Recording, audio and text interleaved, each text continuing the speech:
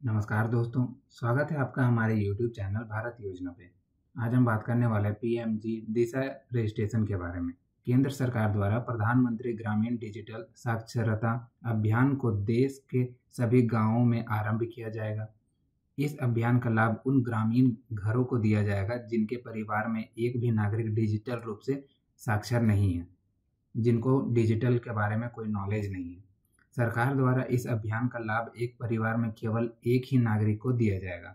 Digital रूप से साक्षर होने से सरकार का उद्देश्य है कि उस परिवार में किसी को भी टेक्नोलॉजी के उपयोग के बारे में पता नहीं होना चाहिए। जैसे मोबाइल या कंप्यूटर चलाना नहीं आता है जो इंटरनेट के प्रयोग के बारे में कोई भी जानकारी ना हो, तब आप प्रधानमंत्री ग्रामीण डिजिटल साक्षरता अभियान के अंतर्गत ऑनलाइन पंजीकरण करके केंद्र सरकार की इस योजना का लाभ ले सकते हैं।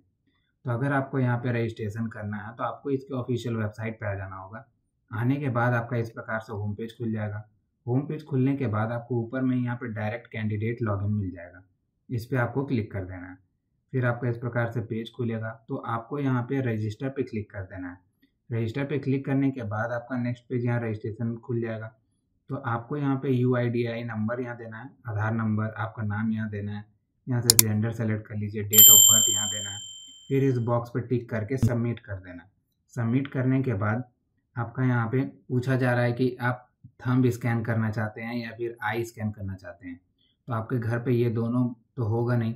तो आपको ये जो फॉर्म है वो सी एस सी सेंटर जाना होगा। वहाँ जाके आपको भर, भरना होगा फॉर्म वहीं पे आपको ये दोनों ऑप्शन मिल जाएगा फिंगरप्रिंट स्कैन करने का और आई स्कैन करने का। तो दोनों में से जो स्कैन करना आप स्कैन करने के बाद, इसके बाद आपको अपना यूज़र आईडी और पासवर्ड बना लेना है। पासवर्ड बना लेने के बाद आपका अकाउंट रजिस्टर्ड हो जाएगा। अकाउंट रजिस्टर होने के बाद आपको यहाँ पे लॉगिन पेज पे आ जाना है।